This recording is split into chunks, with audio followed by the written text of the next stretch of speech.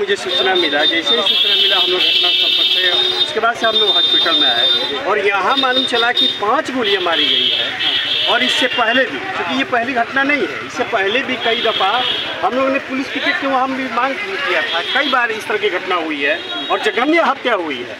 कई बार इस तरह की घटना हुआ बार बार कहने के बावजूद भी वहाँ पुलिस की अगर जो हम लोग की मांग है, वहाँ व्यवस्था नहीं हुआ, जिसके कारण आए दिन वहाँ घटना हो रही है। अब यहाँ आए हैं नया थाना फरबारी इनके लिए भी एक चैलेंजिंग काम है। इससे पहले जो भी लोग रहे उनके लिए भी एक चैलेंजिंग काम है। तो इन्होंने तो- बताया कुछ क्या किससे दुश्मनी थी कौन लोग मारने में अभी अभी इसकी इस बात की हम लोगों की कोई सूचना नहीं है उस तरह का कोई हम लोगों को नहीं मिला हुआ है। निश्चित तौर पर आगे जो भी पुलिस पदाधिकारी है वह जाँच करेंगे कैसे लोग हैं। लेकिन इस चीज़ तो है कि वह जो ओवर फ्लाई ब्रिज है वहाँ आए दिन इस तरह की घटना हो रही है। वहाँ हर हाल में हमेशा के पुलिस पिकेट की मांग हम लोग करते हैं। इससे पहले भी मांग की है कि वहाँ रखना चाहिए ताकि अपराधियों का जब सेफ़ जोन बन गया है वहाँ इसके इसमें कमी आए। अगर ऐसा नहीं होता है तो निश्चित तौर पर आने वाले दिनों में हम लोग अपने स्तर से आंदोलन के माध्यम से निश्चित तौर पर इस पर करने का काम करेंगे। उपेंद्र साहब भाजपा मान्य नेता बैरवा